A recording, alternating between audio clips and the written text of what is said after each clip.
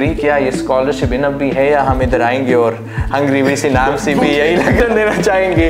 उन स्टूडेंट्स को जो इस स्कॉलरशिप के लिए अप्लाई करते हैं, किसी भी और स्कॉलरशिप के लिए अप्लाई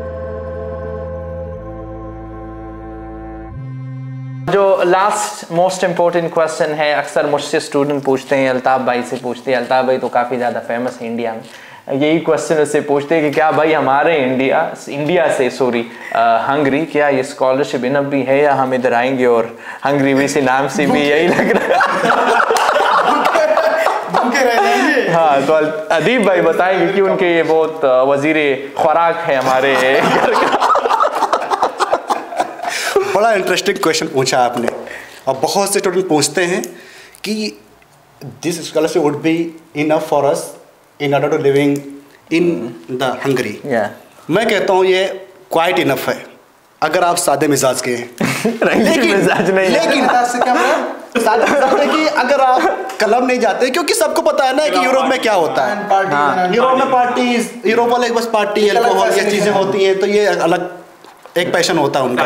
अगर आप उसमें नहीं जाना चाहते हैं तो आपके लिए it is it's would be quite enough for you perfect लेकिन अगर आप उस मिजाज के हैं तो ये आपके ऊपर है फिर आप घर से मंगवाएँगे या फिर यहाँ पे काम करेंगे? हाँ जो पीएचडी के लिए उसके लिए तो ऑलमोस्ट इनफ है क्योंकि उसे एक लाख चालीस हज़ार फोरेंट मिलते हैं। अल्ताफ भाई को काफ़ी ज़्यादा पैसे मिल रहे हैं। लेकिन जो बैच मास्टर के बच्चे हैं अक्सर इधर यही समझा जाता है कि मास्टर और बैचलर के जो बच्चे वो गरीब है। तो अदीब भाई कह रहे हैं कि it's more than enough but if you live in a normal routine न छेड़ो तो हमें हम सताए हुए।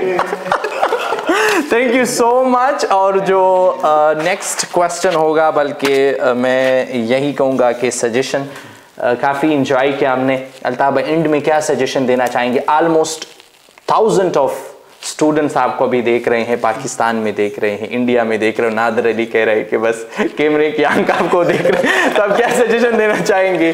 उन स्टूडेंट्स को जो स्कॉलरशिप के लिए अप्लाई करते हैं या किसी भी और स्कॉलरशिप के लिए अप्लाई करते हैं।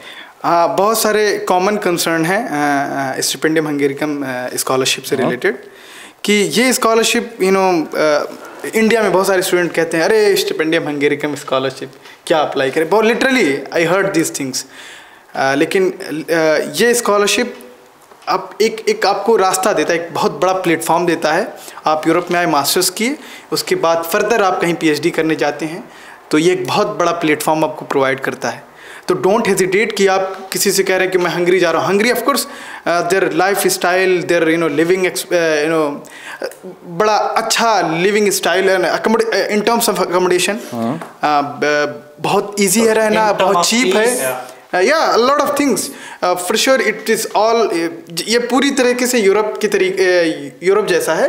लेकिन ये होता है कॉमन कंसर्न लोगों के जहन में बैठा हुआ है कि अरे हंगरी जा रहे हो हंगरी क्या होगा हंगरी क्या होगा? It's a very common question universities भी काफ़ी अच्छी है रैंकिंग वाइज रैंकिंग अच्छी है क्वालिटी ऑफ़ एजुकेशन अच्छा है सारी चीज़ें अच्छी हैं और they usually treat Stipendium Hungaricum scholarship in a well manner way mean काफ़ी रिस्पेक्ट देते हैं काफ़ी रिस्पेक्ट देते हैं आप अगर स्टाइपेंडियम हंगेरिकम अवार्ड ही हैं फॉर श्योर आपको यूनिवर्सिटी में बिल्कुल इंटरनेशनल उसमें उसमें स्टूडेंट्स में अगर कुछ फ़ी पेइंग भी होते हैं कुछ क्रिश्चियन स्कॉलरशिप भी मिलती है हंगरी में और कुछ को फाओ स्कॉलरशिप भी मिलती है लेकिन स्टिपेंडियम मंगेरिकम अवार्डी को एक अलग वो प्रेस्टीज दिया जाता है बाकायदा। तो और एक चीज़ और कहूँगा कि अप्लाई करें अच्छी बात है लेकिन अगर आप ऑलरेडी आपको कोई स्कॉलरशिप मिल गई है तो आप ऐसे नहीं क्योंकि मैंने देखा कि फिजूल में कुछ बच्चे अप्लाई कर देते हैं फिजूल में। Just like some of my friend they are already pursuing the P H D and applying for PhD again PhD. in another PhD. What's they are the applying while they are applying somewhere, you know, some other countries that they are already pursuing the PhD. What's the reason? And still, this?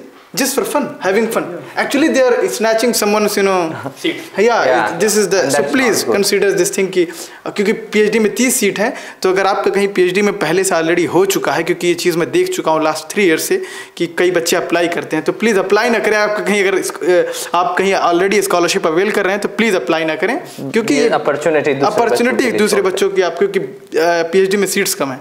तो please consider this thing